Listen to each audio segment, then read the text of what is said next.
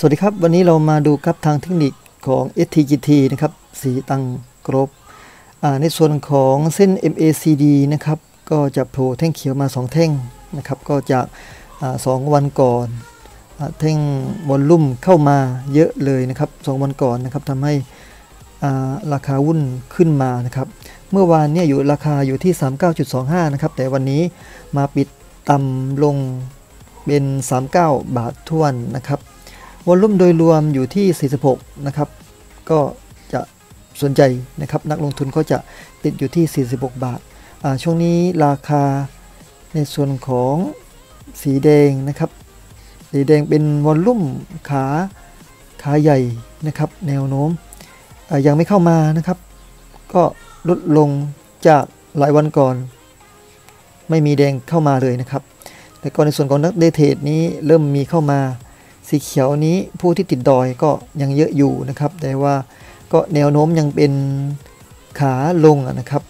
เพราะยังไม่ผ่านแนวต้านของเมื่อวาน 31อ่า39.25 นะครับ ดูอีกกราฟชัดๆนะครับ อีกกราฟทางเทคนิคนะครับ STO นะครับ เริ่มเริ่มเส้นสีฟ้านะครับ เหนือเส้นสีแดงนะครับ อันนี้แนวโน้มก็น่าจะเป็นวอลลุ่มที่เข้ามา 2 วันที่แล้วนะครับวอลลุ่มแท่งเขียวสูงเลย แต่ว่าอีกเมื่อวานนะครับ เมื่อวานก็ปิดเขียว แต่ว่าวันนี้ก็ต่ำลงนะครับ แนวโน้มนะครับยังไม่ผ่านเมื่อวานนะครับพรุ่งนี้ก็ลุ้นกันนะครับยังไซเวย์อยู่ครับผมครับมาดูในกราฟทางเทคนิคนะครับของ d t แทนะครับ d t แทนี้เส้น กราฟสีเขียวนะครับ MACD ดังแท่งเขียวเข้ามาตั้งแต่ 2 วันที่แล้วนะครับทำให้วันนี้เห็นชัดเลยนะครับ ก็แนวโน้มนะครับ สัญญาณบวกครับ สัญญาณเป็นขาขึ้นนะครับ จะเห็นว่าาทาง Smart MCDX นะครับ